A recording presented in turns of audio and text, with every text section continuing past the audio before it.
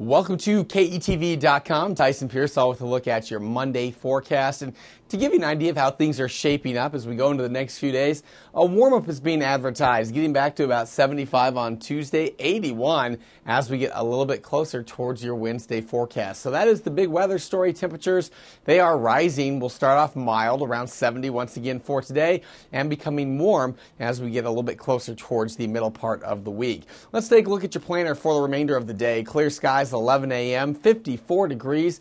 A lot of sunshine, although a few clouds will try to move in as we go throughout the afternoon period. Partly cloudy at both 3 and 9 o'clock.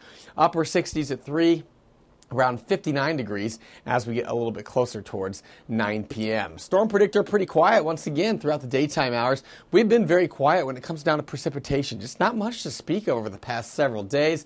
And there's the scene right there. This is 5 o'clock. A few clouds and showers well to the east of the KETV viewing counties.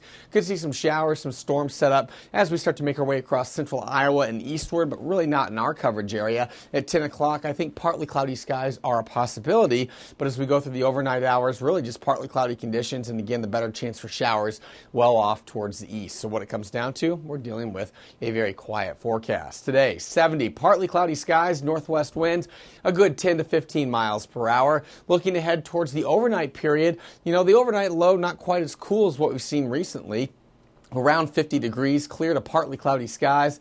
And there it is. Look at your seven day forecast. We'll bring in the first few days and show you the remainder of the week. We cool back down again as we go towards Thursday into Friday. As of right now, I'm thinking mid 70s on Saturday and Sunday. Model runs are a little bit all over the place as we go towards the weekend. Some want to make it cooler than that. Others want to suggest that temperatures could be warmer than the mid 70s, but that's the current thinking right now. So a little bit of an up and down roller coaster ride temperature wise, but staying dry in the seven day.